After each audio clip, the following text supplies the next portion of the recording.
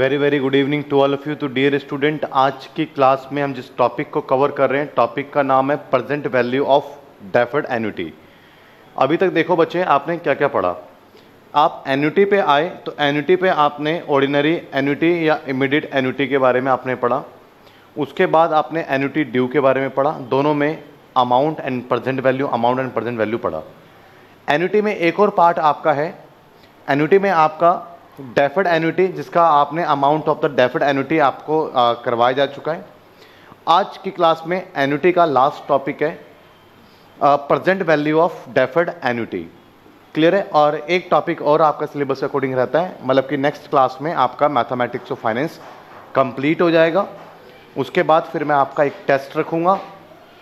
Previous two year के questions paper में से, तीन साल के क्वेश्चन पेपर में से क्वेश्चन बना करके मैं आपको दूँगा।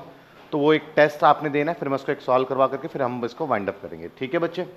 तो फ़िलहाल आज हम फोकस कर रहे हैं present value of deferred annuity present value of deferred annuity क्या होता है? पहले डेफर्ड एनुटी का ऑलरेडी मैं मीनिंग पहले बता चुका हूँ कि आपने एक इंस्टॉलमेंट पे करना है, उसमें से कुछ इंस्टॉलमेंट आप मिस कर देते हो और एक टाइम के बाद पे करते हो। उसको फिर उन सब के हम प्रेजेंट वैल्यू निकाल रहे हैं। और प्रेजेंट वैल्यू क्या होता है? इस बात को आप समझें। मैंने एक सिंपल सी बात आपसे कही। कि प्रेजेंट वैल्यू का मतलब मैं लास्ट क्लास में ही बता चुका हूँ आपको, पहले स्टार्टिंग में बता चुका हूँ प्रेजेंट वैल्यू में। लाइक आप थाउज़ेंड रुपीज़ आप जो है लोन लेते हो। तो अगर एक साल के लिए रखोगे तो इस पर दस परसेंट का इंटरेस्ट पे करते हो अगर आप तो आपको ग्यारह सौ पे करना पड़ेगा। क्लियर है? दो साल के लिए अगर आप रखते हो उसी पैसे को तो आपको बारह सौ, दस रुपये पे करना पड़ेगा। प्रेजेंट वैल्यू का मतलब होता है इसमें से आपने मान के चलो एक इंस्टॉलमेंट आपने फ़र्स्ट इंस्टॉलमेंट पे करी आपने ग्यारह सौ रुपये सेकेंड इंस्टॉलमेंट पे करी आपने बारह सौ रुपये एन्यूटी में ऐसा नहीं होता है। एन्यूटी में जो है आपका इंस्टॉलमेंट इक्वल होता है इक्वल टाइम इंटरवल होता है। बट समझाने के लिए मैंने एक छोटा सा एग्ज़ाम्पल लिया। तो ये फ़र्स्ट ईयर के एंड में आप कर रहे हैं इसको तो लाइक इसमें टेन परसेंट का इंटरेस्ट आप पे कर रहे हैं ना? तो अगर टेन परसेंट का इंटरेस्ट इसमें से आप एक्सक्लूड कर दें तो इसकी वैल्यू कितनी आई?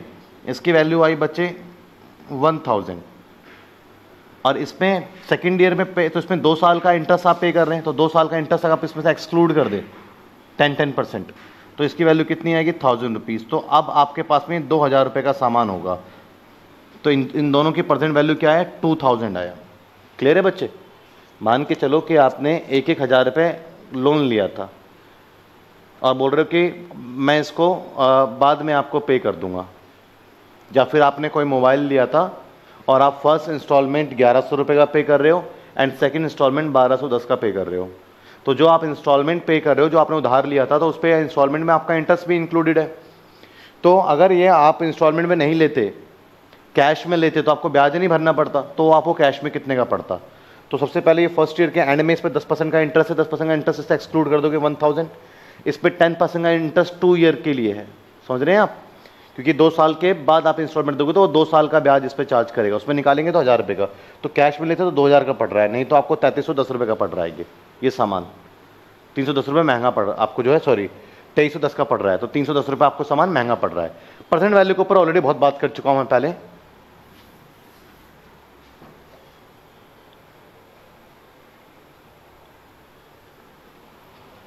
चलिए। प्रेजेंट वैल्यू पे बात कर चुके हैं हम पहले, क्योंकि चैप्टर का एंड है तो बिल्कुल स्टार्टिंग वाली चीज़ बताने की नीड नहीं है। क्वेश्चन है X buys a piece of land for which is the agrees to make ten annual payments तो यहाँ पर टेन पेमेंट जितने नंबर ऑफ़ पेमेंट आप करोगे उसको एन बोलते हैं। ऑफ़ ट्वेंटी थाउज़ेंड ईच जो पेमेंट आप कर रहे हो आर इंस्टॉलमेंट आप बीस हज़ार रुपए हर बार पे कर रहे हो। And the first being made at the end of the three years. M equals to पहला कितने दे, दे रहे हो? तीन साल के बाद दे रहे हो तो इसमें से आप वन माइनस करोगे। क्लियर है बच्चे? इसमें से क्या करोगे? वन माइनस करोगे तो क्या आएगा आपके पास में? टू आएगा ये एम हो गया। एंड जो एम क्या है बेसिकली कितने समय के बाद आप फ़र्स्ट पेमेंट स्टार्ट करते हो देना? तो एम तो लेकिन वो एम नहीं है तीन साल के बाद उसमें से एक आप माइनस कर दोगे तो दो है आपका एम क्लियर है बच्चे? क्योंकि end of the three years तो आपके पास में थ्री ईयर्स के एंड में तो आपके पास दो जाएगा। और आई इक्वल्स टू अब देखिए क्या है एनुअल पेमेंट है तो रेट ऑफ़ इंटरेस्ट भी आपका एनुअल ही रहेगा। I equals to zero point zero five इसका फॉर्मूला क्या होता है प्रेजेंट वैल्यू का? प्रेजेंट वैल्यू का आपका रहेगा R bracket M plus A M plus N I minus A M I ये इसका फॉर्मूला रहेगा। P इक्वल्स टू एक क्लास में मैंने इसका पूरा इंट्रोडक्शन दिया है, मैं क्लास अपलोड कर दूँगा, क्योंकि पूरा अच्छे से बताया कि भैया present value of deferred annuity क्या होता है और कैसे फंक्शनिंग करता है। आज की क्लास में सिर्फ़ मैं क्वेश्चन की प्रैक्टिस करवा रहा हूँ। आर इक्वल्स टू अब इसको फॉर्मूला कैसे लिखोगे आप? ये ए प्रेजेंट वैल्यू का फॉर्मूला क्या सिखाया था आपको मैंने? One minus one plus I raise to power, ये जो आपके पास में माइनस एम प्लस एन। ठीक है बच्चे? Upon I minus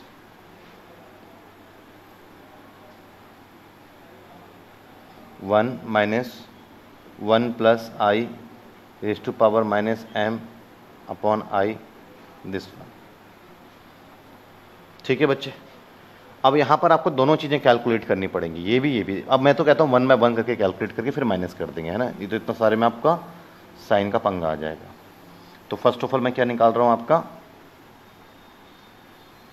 मैं पहले आपका ये निकाल देता हूँ। P equals to R A M plus N और आई, जो कि क्या होगा? R bracket one minus one plus I raise to power minus, क्योंकि प्रेजेंट वैल्यू माइनस पावर होता है, M plus N upon I. ठीक है बच्चे? अब सॉल्व करते हैं। आर क्या आपका? आर आपका ट्वेंटी थाउज़ेंड रुपीज़ है। One minus one upon zero point zero five raise to power. ये पावर आपका माइनस में था तो रिवर्स कर दिया मैंने इसको। लिख देता हूँ पूरा तो एकदम से कंफ्यूज हो जाते हैं कुछ बच्चे। One point zero five raise to power M plus N कितना होगा? तो ten and 2 12 minus twelve upon I zero point zero five. Twenty thousand bracket one minus one upon one point zero five raise to power twelve upon zero point zero five and twenty thousand one minus one upon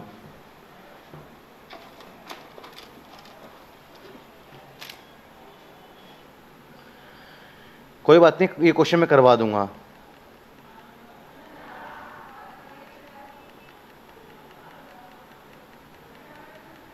mathematics और finance का नहीं है कि आपके पास में ten year में? उसका मैथमेटिक्स फाइनेंस का होगा आपका और आपका कैलकुलस का भी टेन ईयर के क्वेश्चन होंगे। चलिए मैं एक बार बोर्ड चेक कर करके अपडेट करता हूँ अंश आपको।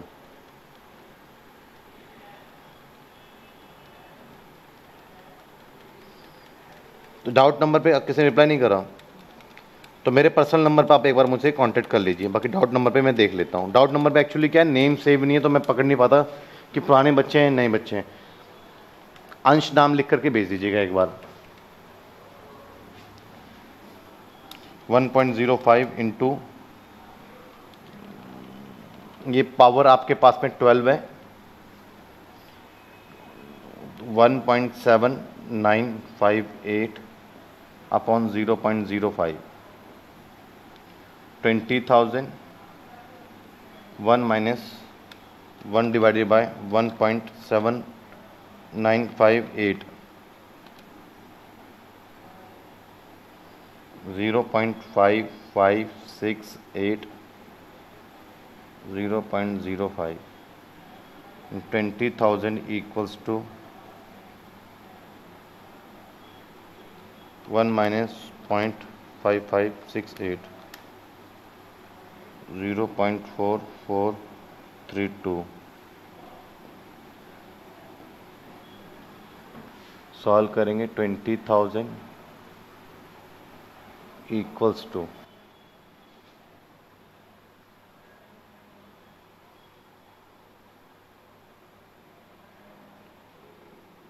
divided by point zero five eight point eight six four into twenty thousand तो ये आ गया one seven seven two eight zero. एक तो ये आ गया बच्चे। और एक और हमें निकालना है ना इसमें। फिर माइनस करना है। क्या?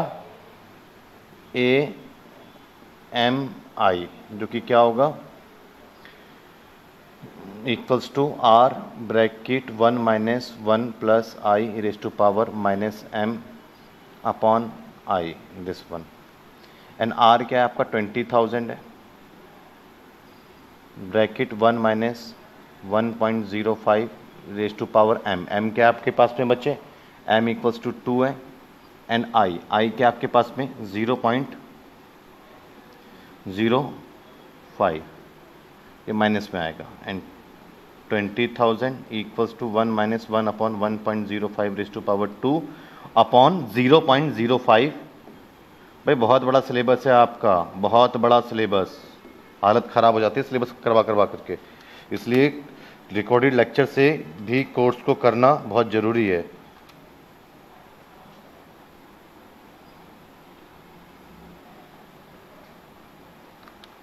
One point zero five into equals to one upon one point one zero zero point zero five and twenty thousand मैं इसको थोड़ा आगे लिख रहा हूँ। One divided by one point one zero one minus zero point nine zero upon zero point zero five आप simple solve करते हैं। One minus point nine zero divided by point zero five into twenty thousand तो क्या है result में? Forty thousand अब आपको किसमें से माइनस करना है? One lakh seventy seven thousand two hundred and eighty minus forty thousand तो वन थर्टी सेवन क्या रिज़ल्ट आया आपका? One thirty seven two eight zero one lakh thirty seven thousand two hundred and eighty